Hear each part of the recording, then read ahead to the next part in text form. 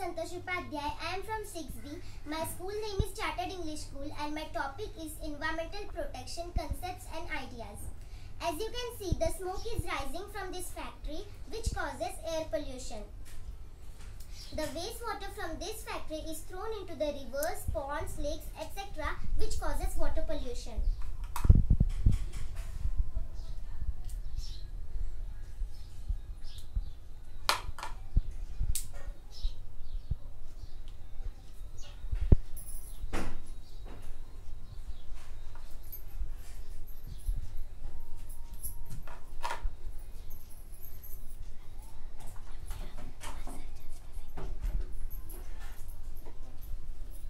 Recording in progress.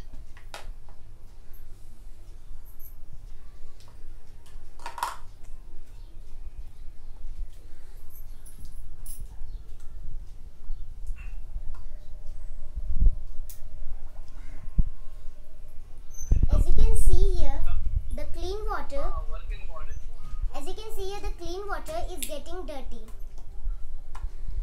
Not only the factory, but the wastewater from the surrounding houses is also thrown into the rivers, ponds, lakes, etc., which, uh, which causes water pollution. Now, my suggestion to prevent this is neutralizing industrial effluents. The effluents from the industry should be neutralized properly matter should be removed by settling or filtration and specific poison should be removed by chemical methods.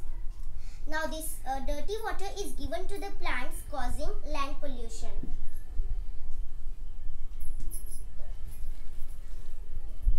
As you can see here, the plants become dirty.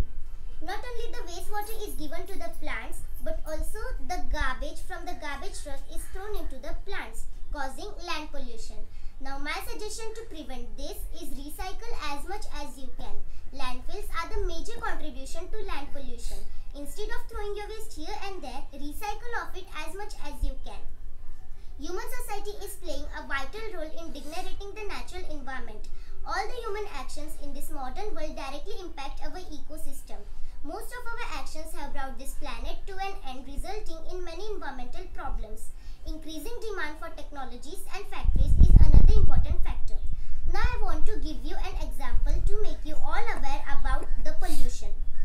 As all of us know that in 1980 a news came that there is a hole in the ozone layer and in 2020 that means in lockdown. Another news came that the hole in the ozone layer is recovered. Now why did this happen?